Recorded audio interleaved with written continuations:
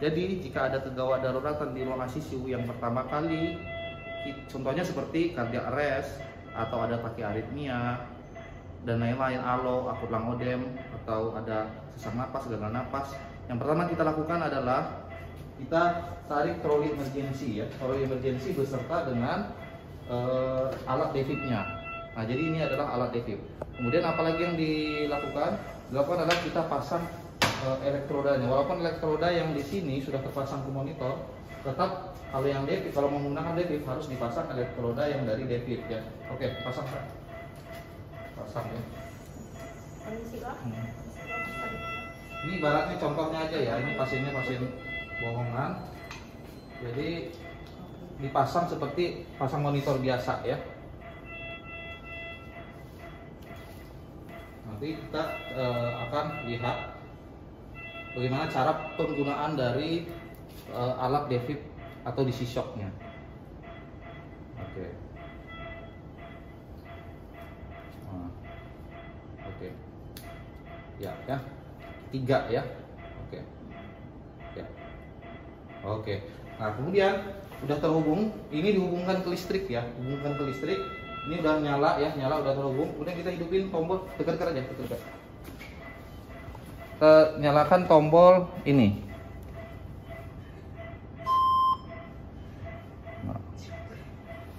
Nah tunggu dulu. Oke. Nah begini. Terus kita tekan apa? Kita tekan monitor. Tekan monitor. Nah ini kan nggak kelihatan ya. Tekan lagi ini 1 2 3 ini jadi ini kita mengganti leadnya ya. Nah ini baru muncul ya. Ini baru muncul. Ini sudah muncul irama dari pasien. Jadi harus ada muncul dulu iramanya ya.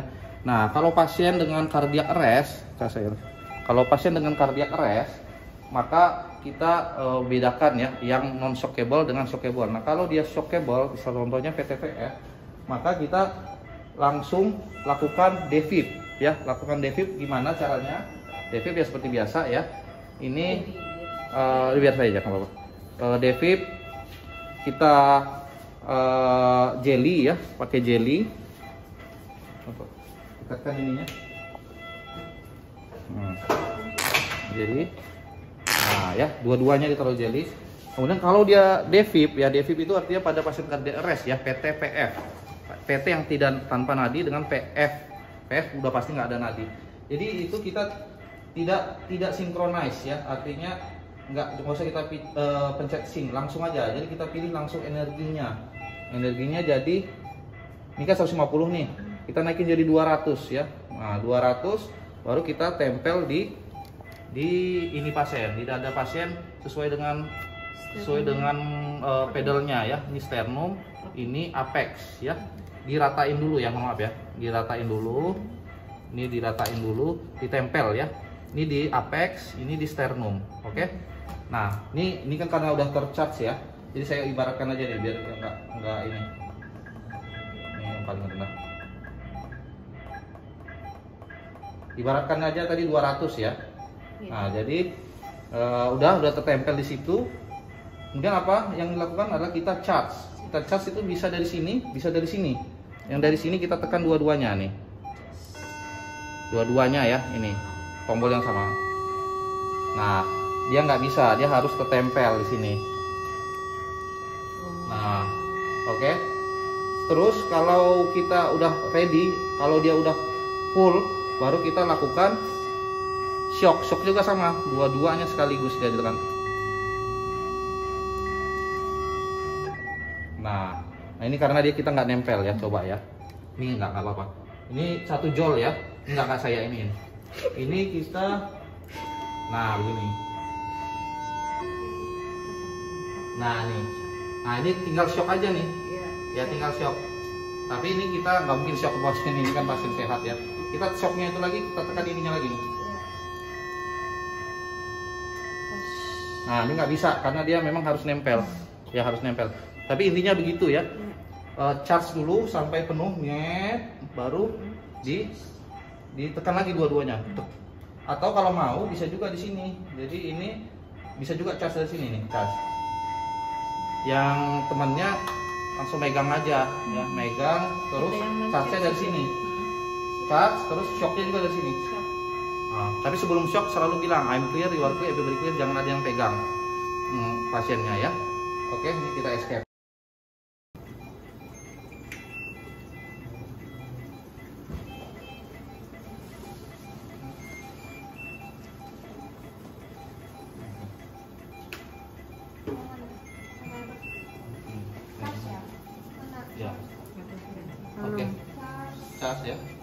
Ya, ya.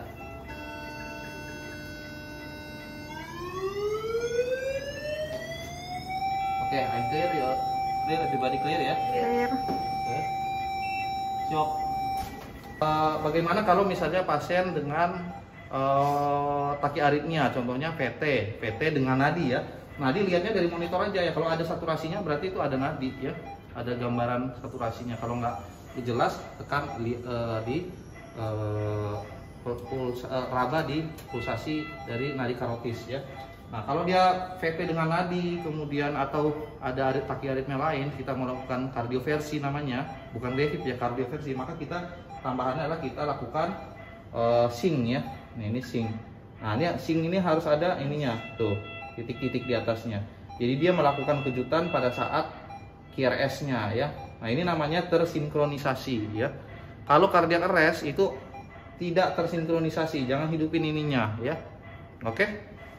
Oke, coba ya ulang dari awal dulu ya. Ah, coba ke eh, Kak Devi gimana tadi Ca- caranya pertama kita hidupin dulu ya. Tunggu dulu ya. Terus apa lagi? Kan monitor. Ini khusus untuk alat ini ya. Artinya setiap alat beda-beda. Cuman karena di rumah sakit kita adanya ini yang yang bagus, nah baru tekan ini ya satu. Nah baru muncul. Harus muncul dulu iramanya ya. Jangan eh, kita lakukan tanpa ada iramanya.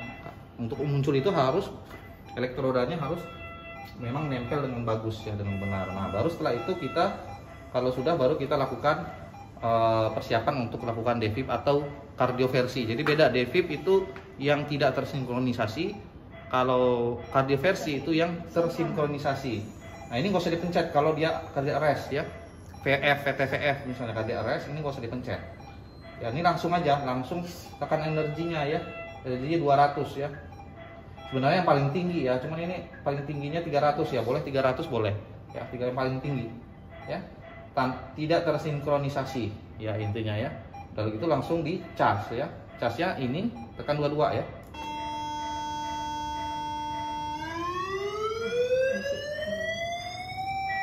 Nah dia nggak nempel, nah, nggak mungkin dia nggak bisa ini dibatalin aja ya.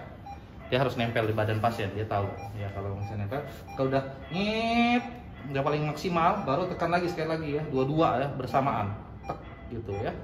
Oke, udah ya, udah itu aja caranya. Sip.